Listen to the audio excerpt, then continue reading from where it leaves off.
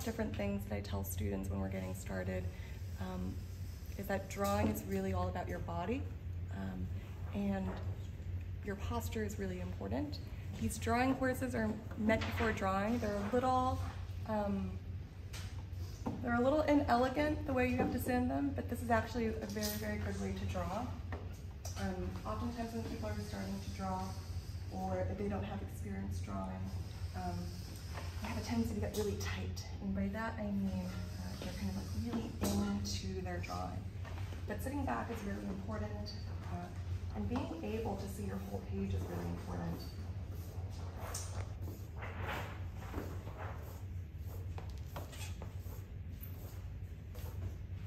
I'm just starting off by making straight lines, uh, and by sort of doing these straight lines, you can see I'm moving pretty quickly, and they're pretty straight. Um, and that's my goal. My goal is to loosen up. Um, I am not using my wrist while I'm doing this. I'm actually drawing from my shoulder. Um, and this means that I have a full range of movement. Um, if I were sort of drawing, holding my pencil like this, like you would if you're writing, you're not going to be able to get that full range of movement. You're going to be a little hesitant while you're drawing. And I think one of the biggest obstacles to people learning how to draw is that initial hesitancy. Um, so you can get over that initial hesitation, maybe you can do something really nice. Um, so I usually have students warm up and do as many straight lines in different directions as they can. Uh, the other thing that I have students do uh, to start off with uh, making circles.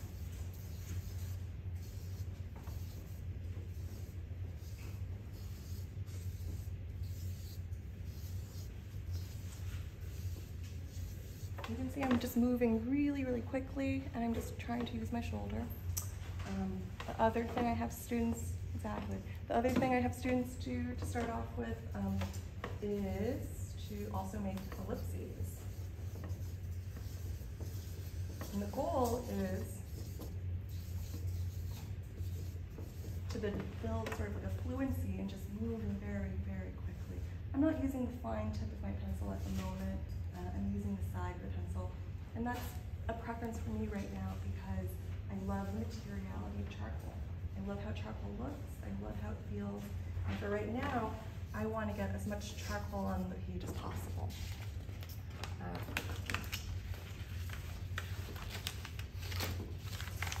there is a gift in being able to do very, very simple things. Doing simple things really well is hard enough. Uh, and then doing really complicated things, that's just, you know, maybe it's too hard. And if you focus on a foundation, you can sort of climb a ladder and get a little bit higher. Uh, so, uh, you know, the easiest thing to do now is to sort of draw a cylinder because I have my ellipse and I have my straight lines. I can even uh, sort of, uh, you can say, extrapolate from that idea, and I can even draw other things now. So um, a cylindrical object, uh, like a teapot or a mug,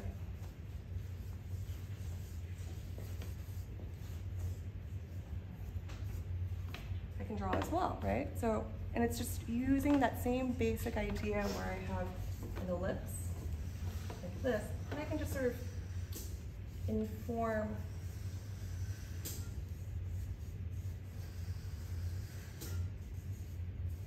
my drawing with new shapes that are based on that very simple principle.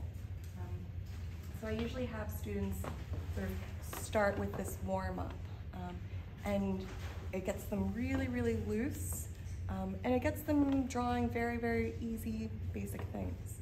Um, I like them to sort of fill the page and to not be afraid of the page. Um, so that's something that I would, now that we all have these like kind of sharp pencils and materials, we can sort of move forward with that. Um, I'll also sort of hand out some of this uh, fine charcoal for all of you, which is also a nice material. Something I tell students is that everyone's different in a wonderful way. Um, and I'm not trying to be like cliche about it. I really do believe that. Um, that everyone has like their unique hand. And so for some people,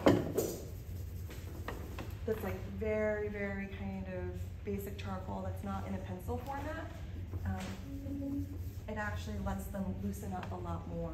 Um, so I'll also make this available for all of you to use, and you can pick and choose if you want to use the pencil or if you want to use this. Have to wash your hands afterwards because it's very messy. Um, it's a great material. Uh, and I love just sort of taking the charcoal and just if I need to sort of have a different length or something, um, I just break it very easily. Um, and this, this is like your hand at this point. Do I have any questions? Yeah, yeah, just come, it's, it's good. I'm gonna give you my. Again, it's also kind of very sports. This section's very elegant. Oh, yours? Because sometimes I like to teach a little conceptually first, meaning that I want you to understand why I'm teaching you the way I'm teaching you. And then you kind of do it the right way. Does that make sense to everyone? Move across the form to double check widths, and then I sort of take my line, my parallel line, I go down here.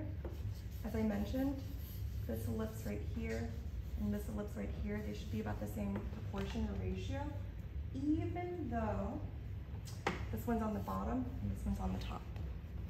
Now, that's, that's a fake drawing, that's not a real drawing. Um, if I wanted to draw the bottle that's right in front of me, I have a couple of different tactics um, that I can use. Uh, one tactic I tell students is imagine that there is uh, an invisible box around the object. And this way you can see the negative space as well as the positive space. So in this case, in this case, this is positive space, everything that I can touch.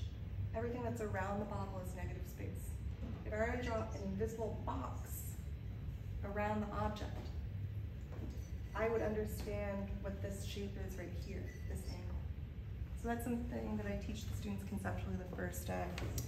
Um, but to make it easy for everyone so you can all read with one bottle, I clearly want like one drawing, um, is this method called sighting, uh, which is which means literally that I am borrowing what I am seeing um, from in front of me. Uh, so, like if I wanted to find the angle of a straight line, I can hold my, I close one eye, kind of like this, and squint, so I can see a little bit better. I hold my pencil up to the angle, and then I bring it down to the paper, so that I am translating exactly what I see. Um, if I wanted to find the angle of the vase in front, sorry, bottle in front of me, uh, I can sort of take my pencil, and you guys can't see what I see, so I'm going to tell you. I'm taking my pencil, I am lining it up to the edge of the bottle where it tapers, right underneath the bottle cap, and then I can go like this, and I can bring sort of that angle back down. And I can do the same thing for the other side of the bottle, and I can bring it back down. Um, I am literally borrowing from what I'm seeing in front of me. Now, what I like to tell students is, sometimes they like to do this, they go like this, they're like, okay, it's lined up, and then they're like, you know, and it, but it's not what I'm, I'm literally taking what I see in front of me and I'm translating. So this is why the body thing is really important. Because if you're using your full arm and not using your wrist, you actually can do that pretty well. You're just bringing your arm down. Um, is why I'm like body, body, body, momentum, straight lines. Because it really helps take you pretty far. Um, I don't know how much time we have, maybe five, ten minutes.